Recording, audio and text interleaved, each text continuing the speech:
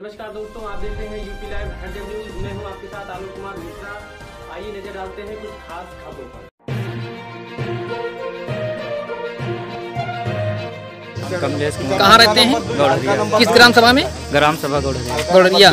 ये क्या मामला है आपके यहाँ? मामला ये है कि राशन का गल्ला जो आता है तो गरीब पाते नहीं है कोटेदार खुलेआम गेहूँ बेच रहा चावल और गेहूँ बेच रहा है। जी जी। गाड़ी में कैसे सूचना मिली आपको? गाड़ी में माल जा रहा है। नहीं तो वहाँ गाँव के कुछ लोग जुटे थे जो गल्ला नहीं पाए थे जैसे इनकी गाड़ी उसके घर से निकली। जी जी जी। तो ऐसे लोग बताए कि ग- गल्ला बेच रहा है हम लोगों को दे भी नहीं रहा है। जी। तो इसलिए यानी हम लोग आए बाद में देखे तो इसमें कोटे का चावल निकला गेहूँ भी लगा कितना लगभग कितना माल होगा गाड़ी के अंदर?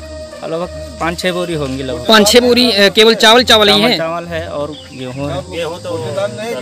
और गेहूँ किसका लदा हुआ है।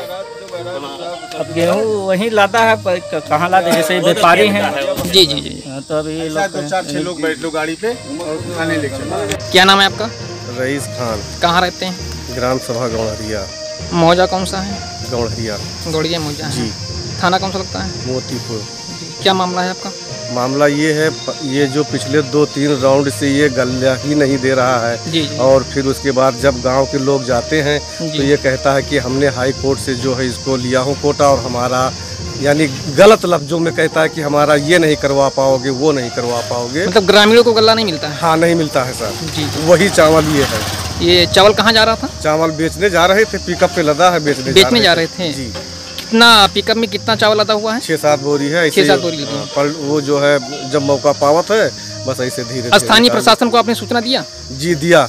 एसडीएम साहब के पास हमने स्वयं एप्लीकेशन डाला। फिर भी कोई कार्रवाई नहीं हुई। जी।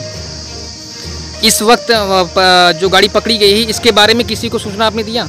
किसी को नहीं दिया सर। अभी कोई प्रशासन यहाँ मौजूद नहीं है? कोई नहीं आया। सौ नंबर आए सौ नंबर सिर्फ़ आए हैं बस। जी।